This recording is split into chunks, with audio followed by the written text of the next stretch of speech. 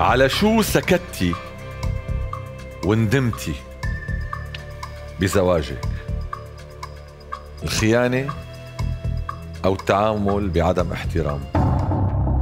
أنت قلتي بإحدى المقابلات أنه على قد ما مرقتي بطل نعمل لك حساب وهذا الشيء كان صعب. أولا كان دائما التعامل محترم جدا. يعني أنا ما بتذكر وسيم حكى كلمة كبيرة كل الثمان سنين اللي عشناهم مع بعض.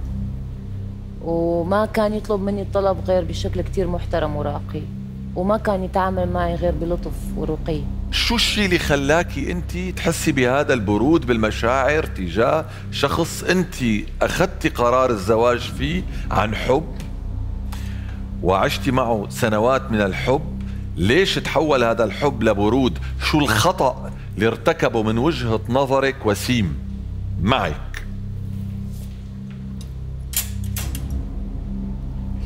سمك سليمان.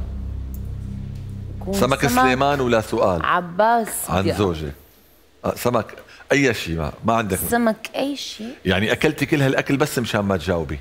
ولا بأي تفصيل. ولا ب طيب كثير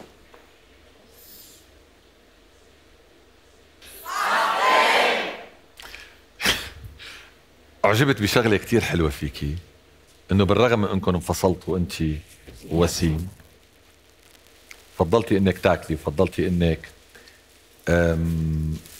دائما تكوني عم تحكي بإيجابية وبشكل جميل عنه